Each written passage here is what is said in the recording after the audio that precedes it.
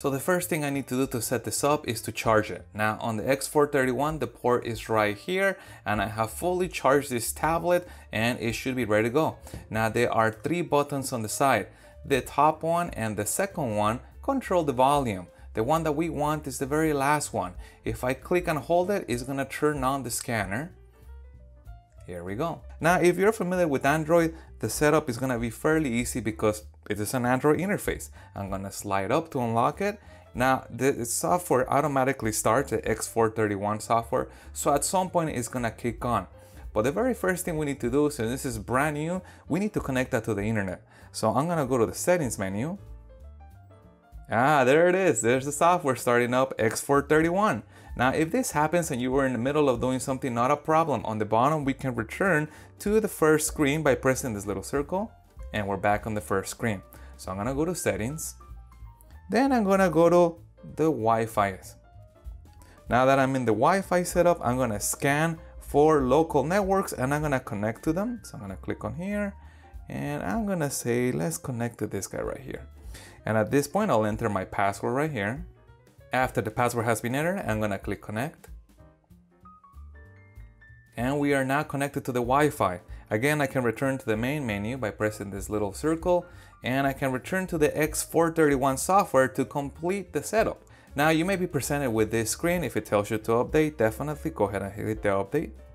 And this is updating the app, which I always think is a good thing to update the app before we start to do anything with it. Now the app has been preloaded on this tablet. It's not like you can go and get this app off the normal Google store.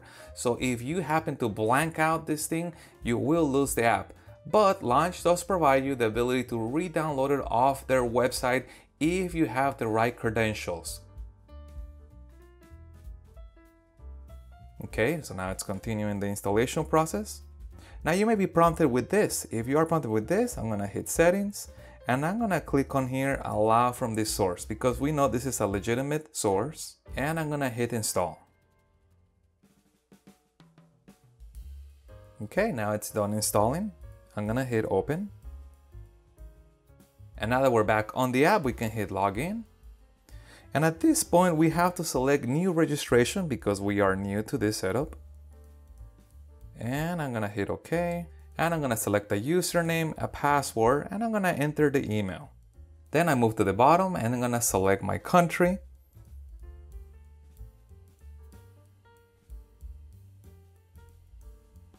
And then I gotta fill in this to prove that I am not a machine. And now that I enter this to prove that I am a human, I'm gonna hit register. And now we're at the activation screen, and this is probably the one where you wanna be really careful on because we're gonna enter the serial number and activation code.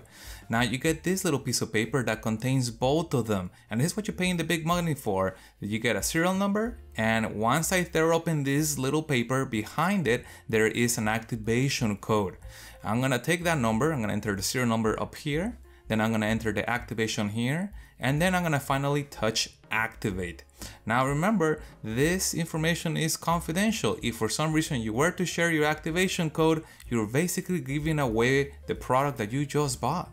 And I would also recommend being careful when opening up this little paper. I tear off the corners, being very careful that I don't tear into the actual paper, damaging the number and me not being able to read it. Now Launch also recommends to inspect it and make sure that there is no sign of tampering or any evidence that somebody took a peek inside at the number because if they did, that means that somebody has your activation code. So at that point you want to contact Launch immediately. And assuming that you enter a valid activation number, you will be presented with a screen showing that you have successfully activated. I'm gonna hit OK. And you might be presented with an option to update the software. I'm gonna hit update immediately. Finally, we are now presented with the main download screen. This download screen shows all the core modules that are available to update for the software and all the different modules for the different car brands. So I'm gonna hit update. And as you can see, there is a ton of software that is being downloaded, which is great. This is an indication that Launch is constantly updating and releasing new modules, new capabilities, new features, new car models. And I'll scroll down so you can see all the cars that are supported on here. Now remember, these scanners do come with a certain number of years of updates depending on the package that you got. So my recommendation would be to make sure that you always keep your scanner updated at least right up to the day before you're about to expire. That is if you don't intend on renewing the support for this scanner. And most shops environments, since they're gonna be dealing, dealing with a lot of different car brands, it would make sense to be subscribed to constant updates. Well, for the do-it-yourself people like myself, who are probably not gonna deal with all these different brands, I think the amount of years of support that you get with this scanner when you buy it is more than enough. And you got a lot of stuff on here. You got things that are made in the US, you got things that are made overseas. I, there's some brands in here that I have not even heard of. So this is definitely very, very capable. This is what we call an OBD bidirectional scanner. So it not only pulls codes from the car and allow us to diagnose the car, it also pulls live data so we know exactly what is going on in the car real time. But because it's bidirectional, and this is why it costs more than a normal scanner, it can send commands back to the car and can activate things like sensors, solenoids, and things that normally will require mechanics to go down into a car and manually apply power to or remove to test manually. We can do a lot more with this too because it's bi-directional. So this, you can think of this as an OBD2 scanner on steroids. and look at this, it just keeps on going.